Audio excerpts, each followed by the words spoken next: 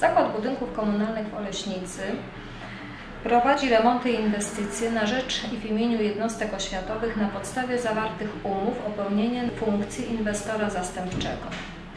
W ramach tych robót organizujemy przetargi ofertowe i nieograniczone, prowadzące do wyłonienia wykonawców na poszczególne roboty budowlane.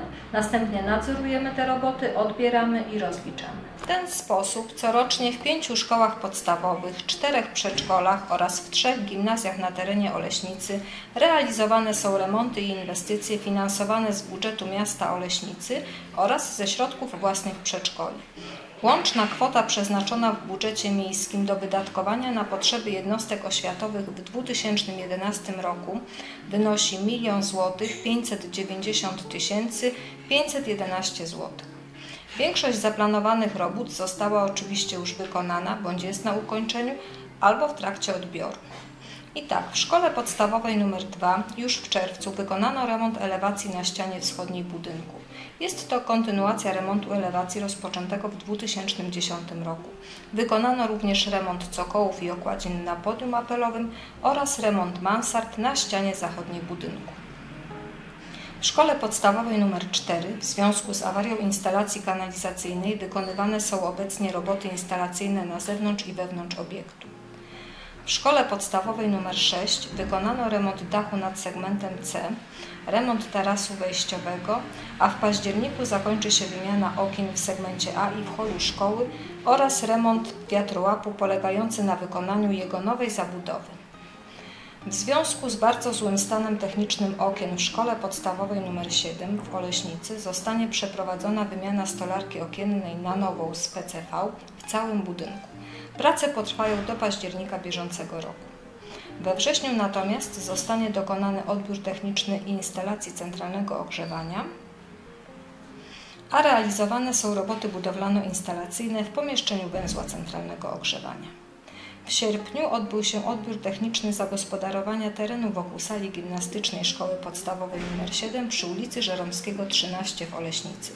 Teren został utwardzony, wykonano odwodnienie, a ruch samochodowy został odpowiednio oznakowany.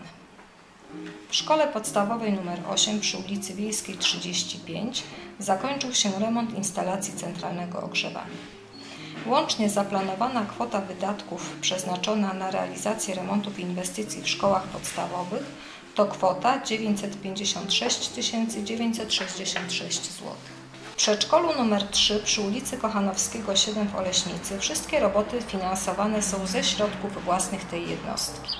Do tej pory zamontowano zestaw zabawowy Dama na przedszkolnym placu zabaw, wymieniono instalację domofonową oraz wymieniono nowoczesny dźwig towarowy.